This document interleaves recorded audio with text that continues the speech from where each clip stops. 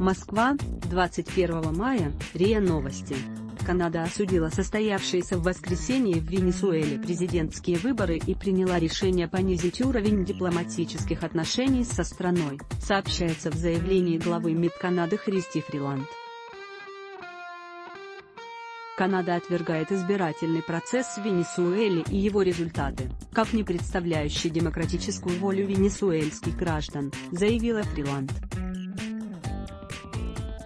В ответ на атаки режима, президента Николаса Мадуро на демократические права венесуэльцев Канада сегодня принимает меры, вступающие в силу немедленно, по переводу дипломатических отношений с Венесуэлой на более низкий уровень и ограничению взаимодействия с ней, отмечается в заявлении. В заявлении сообщается, что теперь канадское посольство будет возглавлять не посол, а временный поверенный в делах.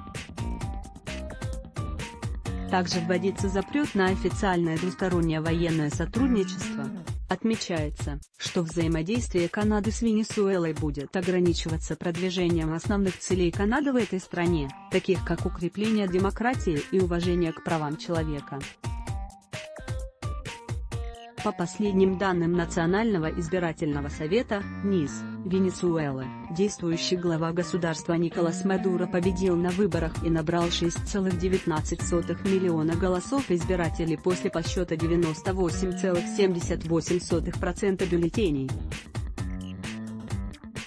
Он займет должность главы государства в 2019-2025 годах.